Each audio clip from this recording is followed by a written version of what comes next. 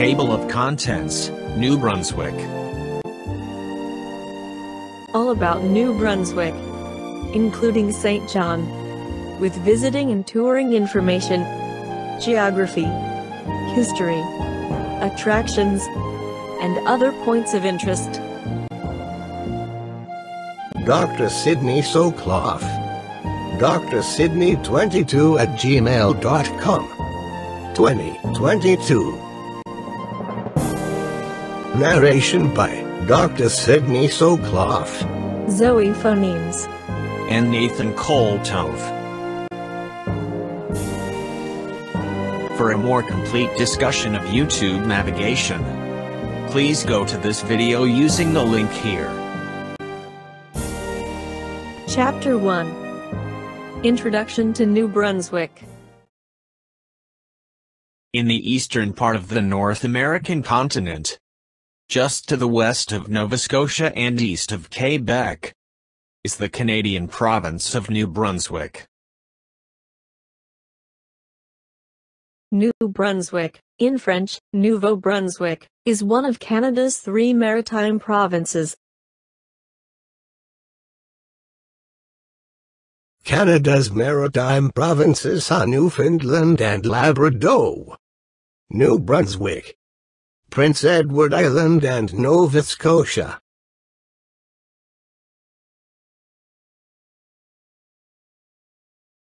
New Brunswick is bounded on the north by Quebec's Gaspé Peninsula and Chaleur Bay, and along the east coast by the Gulf of St. Lawrence and Northumberland Strait.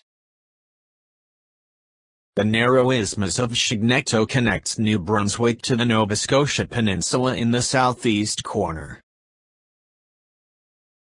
New Brunswick is bounded on the south by the Bay of Fundy coast, which with a rise of 16 meters 52 feet, has amongst the highest tides in the world. It is bounded on the west by the U.S. state of Maine. The population of New Brunswick is 794,000. The provincial capital is Fredericton, with a population of only 58,000. And St. John is the most populous city, with 71,000. New Brunswick is the only constitutionally bilingual province, English and French, in Canada. The majority is English-speaking, but a large francophone minority, 33%, chiefly of French-Canadian or Acadian origin. This is a New Brunswick license plate with both English and French. The province's name comes from the English and French partial transcription of the city of Brunswick, Braunschweig in German, in northern Germany, and the former duchy of the same name. Braunschweig was the ancestral home of the Hanoverian King George III of Great Britain. Chapter 2 Where is St. John? This shows the location of St. John near the Bay of Fundy. St. John, French, Ville de Saint-Jean, is the largest city in the province of New Brunswick and the first incorporated city in Canada. This is a map of St. John along the north shore of the Bay of Fundy at the mouth of the St. John River. This is a view of St. John. St. John began as a collection of small settlements known as the Loyalist City when many Loyalists fled the American colonies after the American Revolution. St. John is New Brunswick's largest city, with a population of 70,000 and is the only city located on the Bay of Fundy. The population of the metropolitan area is 130,000. Chapter 3 The History of Acadian New Brunswick The French founded their first successful colony in North America in 1605 at Port Royal, now called Annapolis Royal. Later the French named all their Atlantic possessions Acadie, or Acadia. These included Nova Scotia, New Brunswick, Prince Edward Island, and parts of the state of Maine. The origin of the name Acadia is credited to the explorer Giovanni da Verrazzano, 1480-1527, who had the Greek term Arcady, meaning land of beauty, written on the entire Atlantic coast north of Virginia on his 16th century map. This map shows some of Verrazzano's explorations of the east coast in 1524. The name Arcadia, or Acadie was initially given by Verrazzano to the entire coast from Virginia north to Canada. For more than 150 years, Acadia was a battlefield in the struggle between England and France. Today, Acadia refers to regions of Atlantic Canada with French roots, language, and culture.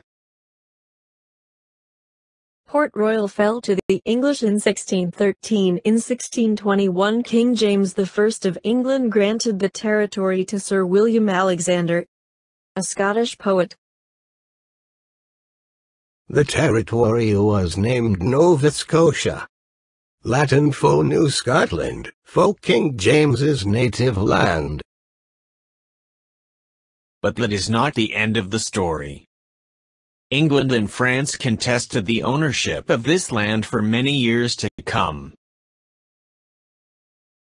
In 1632 Charles I, successor to James I, returned Acadia to France, and the French resettled Port Royal. In 1654, the British recaptured Acadia. In 1667, Acadia was returned to France. In 1690, British troops captured Port Royal and gained control of Acadia.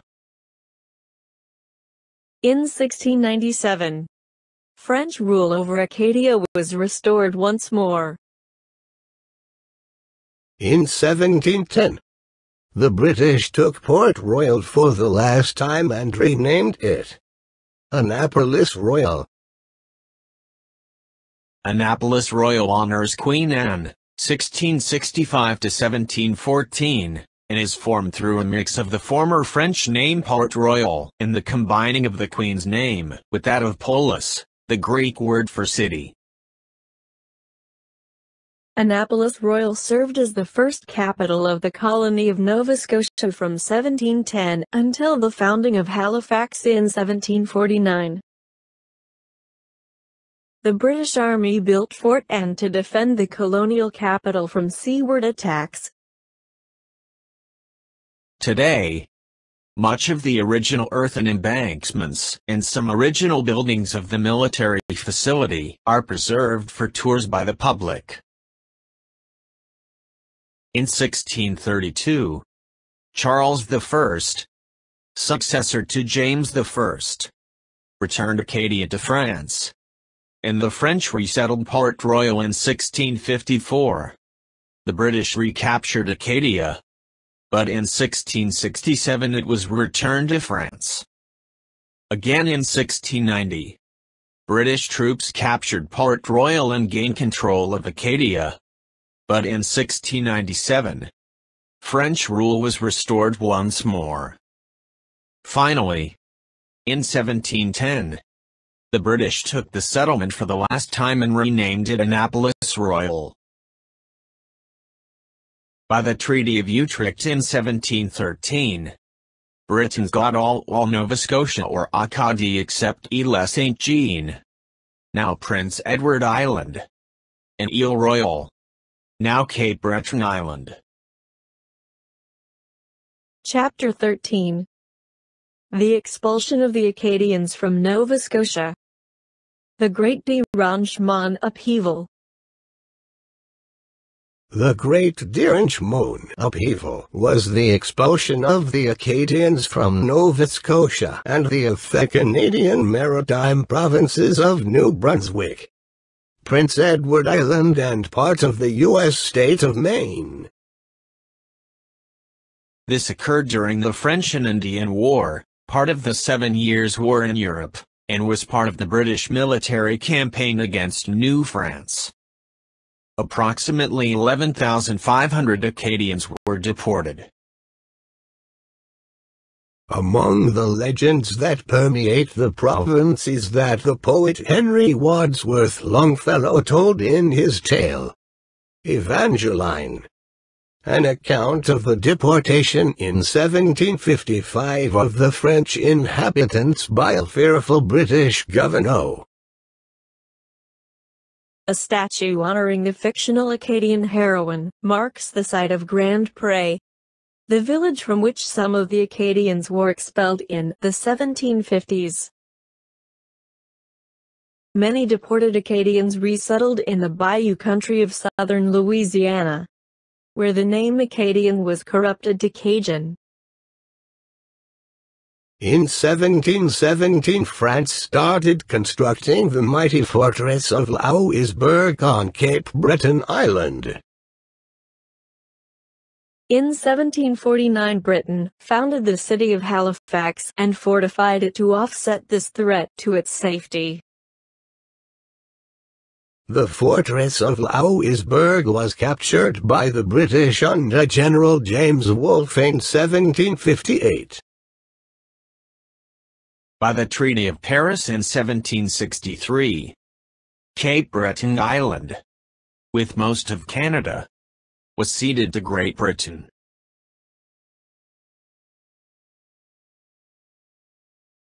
Chapter 4 New Brunswick and St. John. The next century brought a steady flow of settlers to the area as New Brunswick played a strategic role in the growth of the French fur trade. The 1713 Treaty of Utrecht ceded New France to England. However, the era of French control did not end until 1758, when the English General Monckton captured St. John. The United Kingdom Loyalist migration to Canada. Loyalists were American colonists who remained loyal to the Kingdom of Great Britain, and the British monarchy, during the American Revolutionary War. At the time, they were called Tories, Royalists, or King's Men. They were opposed by the Patriots, those who supported the revolution. When their cause was defeated, about 20% of the Loyalists fled to other parts of the British Empire, in Britain or elsewhere in British North America especially East Ontario and New Brunswick, where they were called United Empire Loyalists. The end of the American Revolution brought great hardships for colonists who fought on the British's side. Many fled to the north. And by the end of 1783, some 14,000 loyalists had arrived at the St. John Harbor. In 1785, St. John became the first incorporated Canadian city.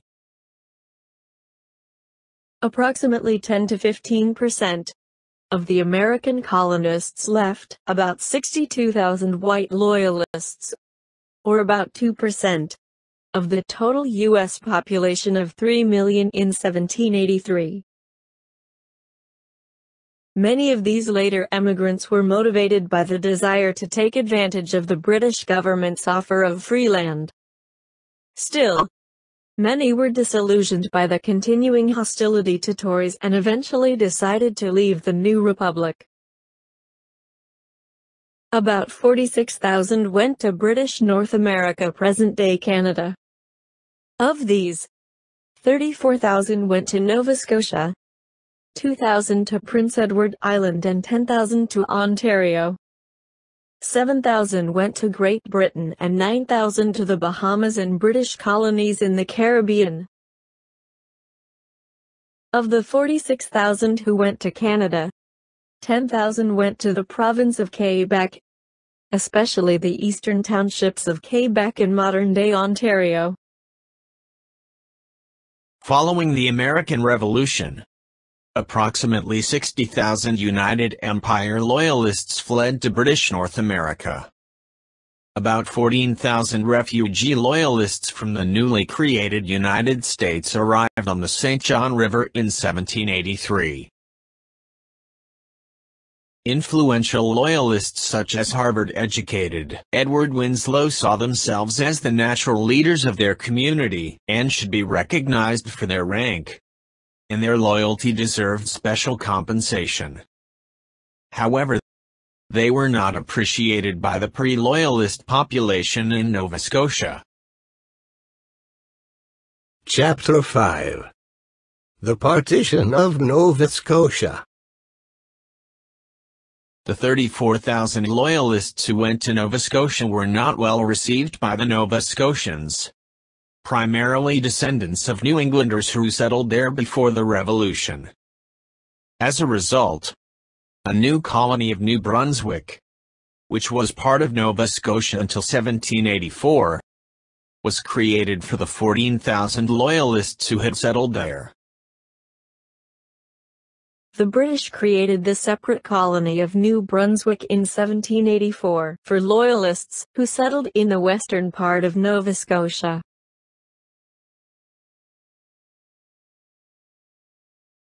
Nova Scotia was very full partitioned. And the colony of New Brunswick was created on August 16, 1784. C. Thomas Carleton was appointed Lieutenant Governor in 1784. And in 1785 a new assembly was established with the first elections. Also, Prince Edward Island became a separate colony in 1784.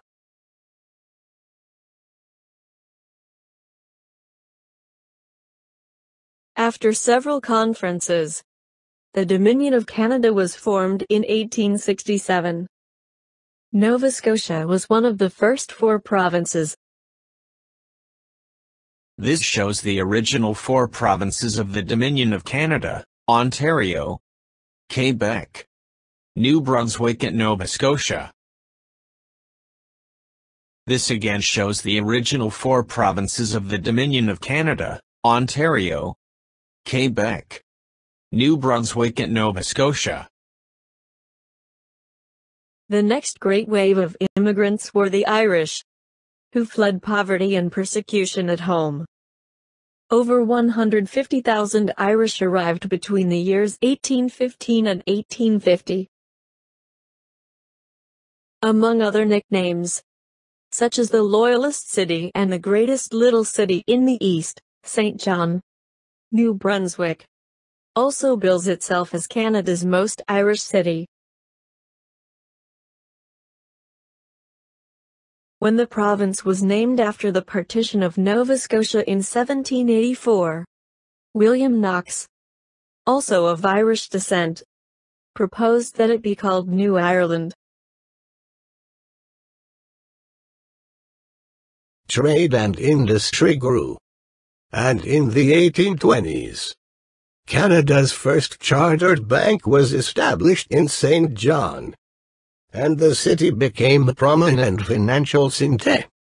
By 1850, the city ranked third worldwide as a wooden shipbuilder. And in 1871, St. John emerged as the leading industrial center in Canada. By 1850, the city ranked third worldwide as a wooden shipbuilder. And in 1871, St. John emerged as the leading industrial center in Canada. St. John's economy suffered as steam engines replaced the old ships in 1867. St. John joined the Confederation of Canada and the economy was dealt another hard blow, as the new government of Canada placed high tariffs on foreign goods. On June 20, 1877, a fire destroyed the city's south end. The fire raged for more than nine hours, destroying 1612 buildings and leaving 13,000 people homeless. The city replaced the damage with sturdier brick and stone buildings built in the ornate Victorian style. St. John became the leading industrial center of New Brunswick during the 19th century, fostering a shipbuilding trade that lasted until 2002.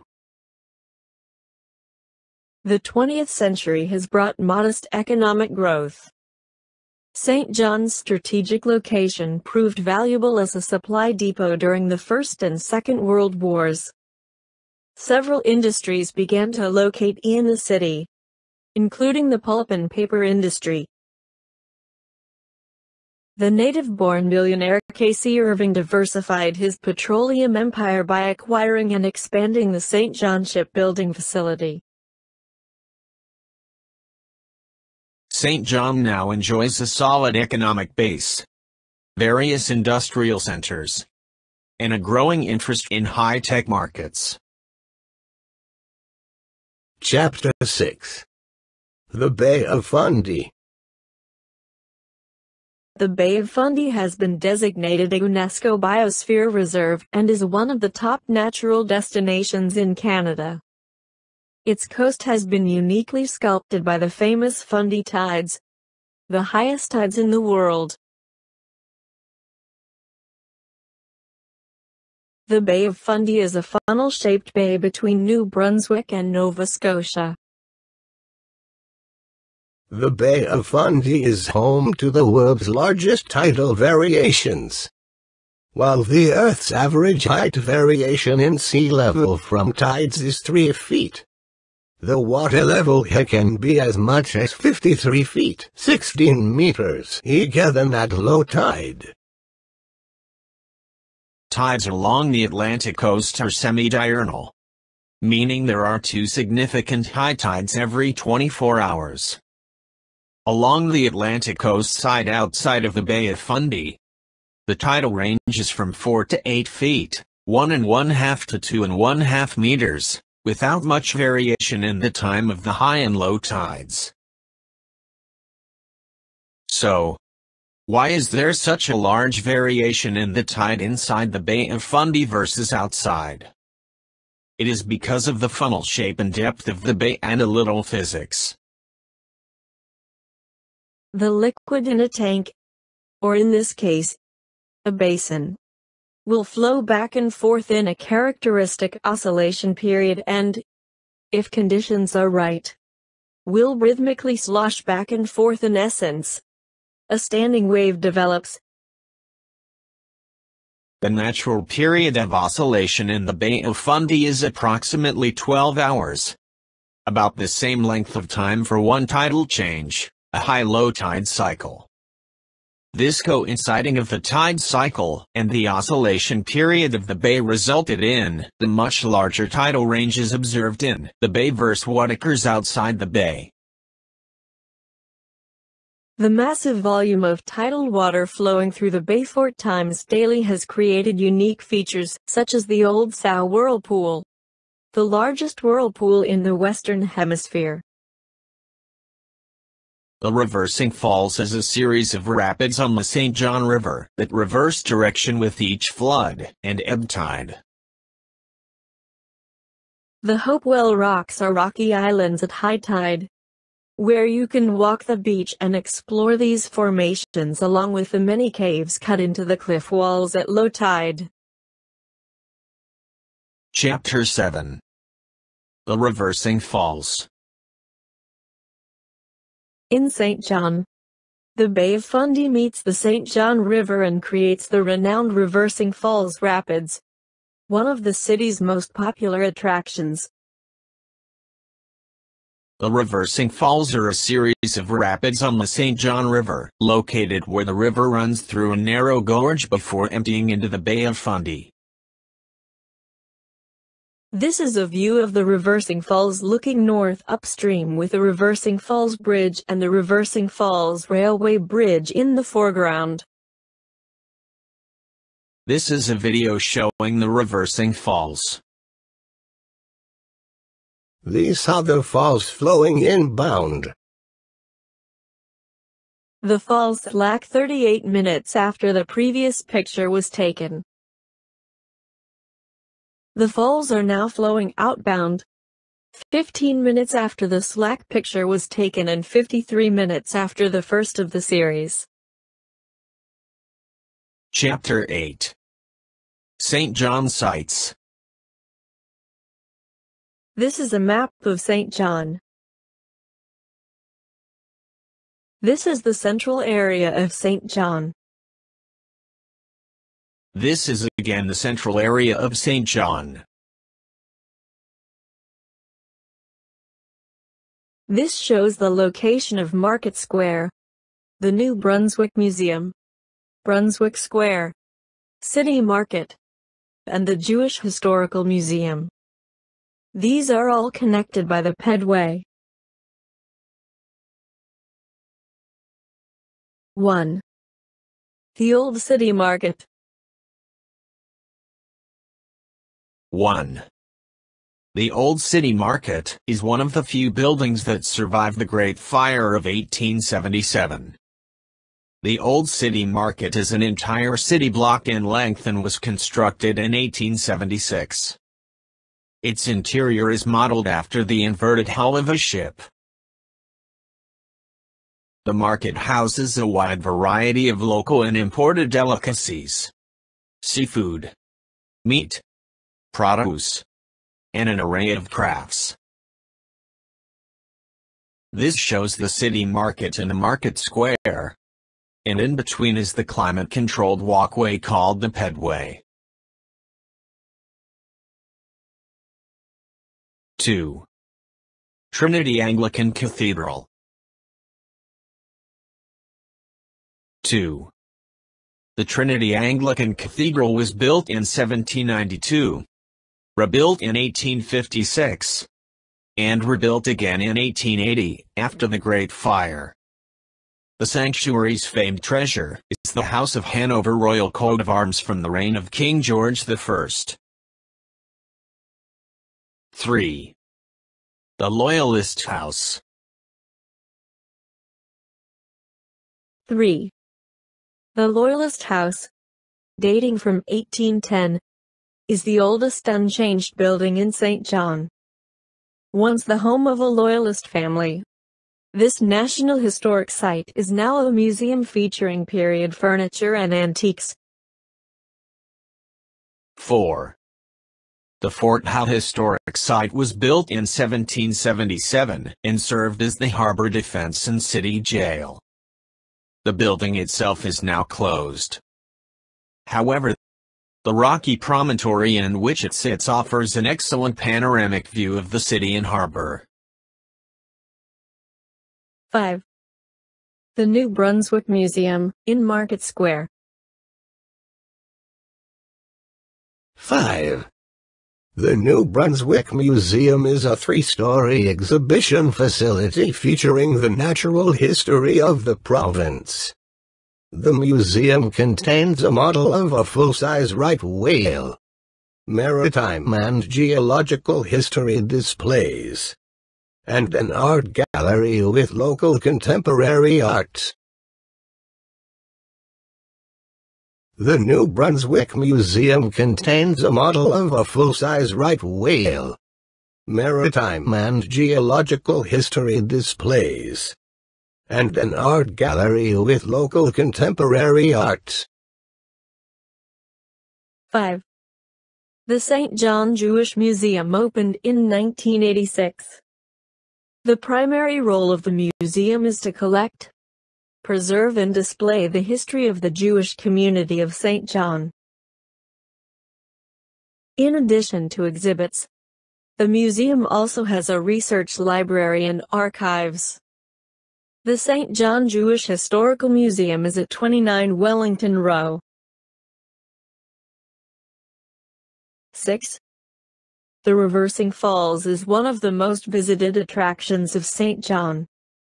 At low tide, the St. John River empties into the bay through a narrow rocky gorge in a series of rapids and whirlpools. The rising tide pushes on the river and slows the river current to a complete stop. As the tides continue to rise to levels higher than the river, the river's current reverses direction, causing the river to flow backward. This shows the location of the reversing falls.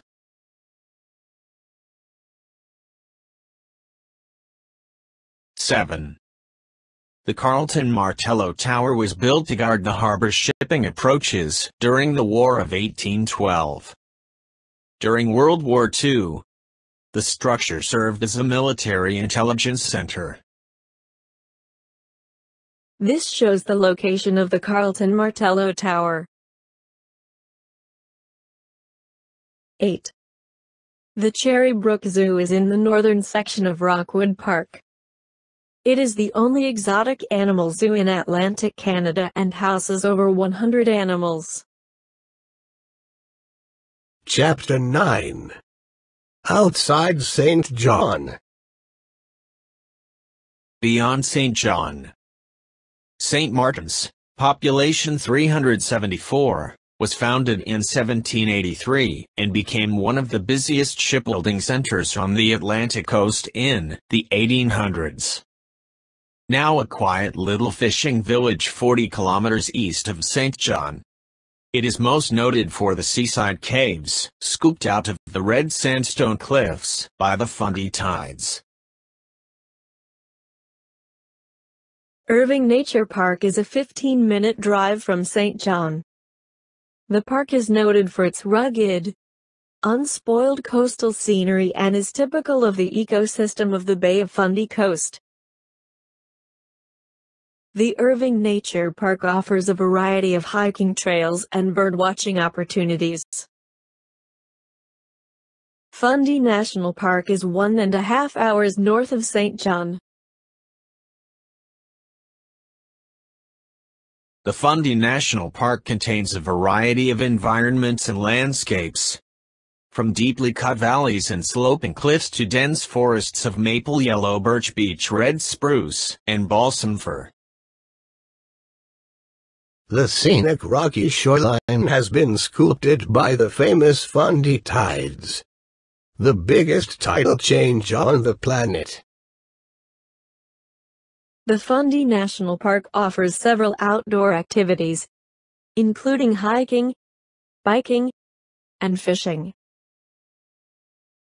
This is a view of the Fundy National Park.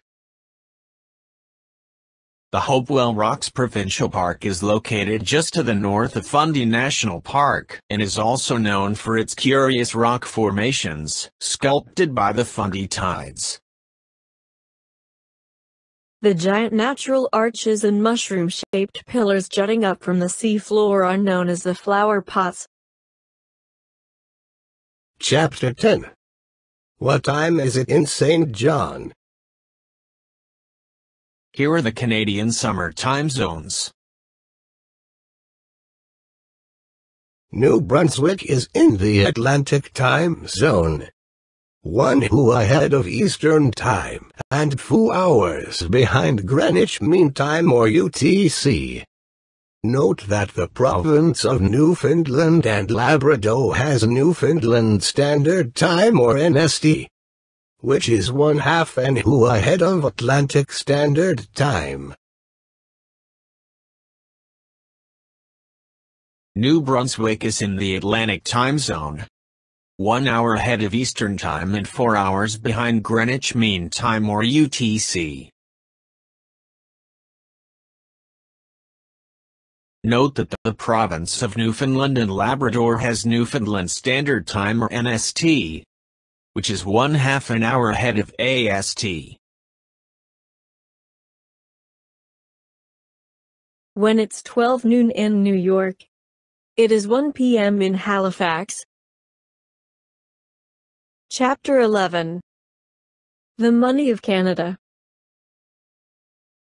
Currency exchange rates can change daily. For the latest exchange rate, click on this icon. Currency exchange rates can change daily.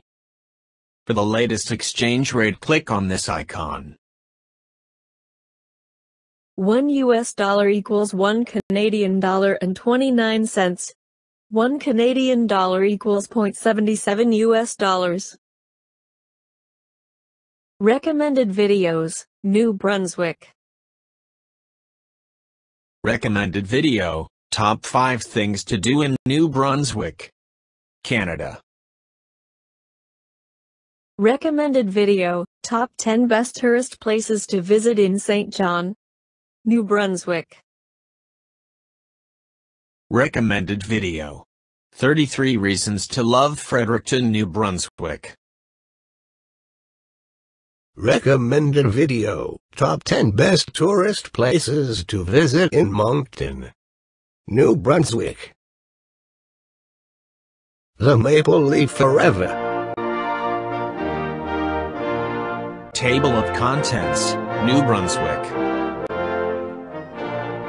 Thanks for watching.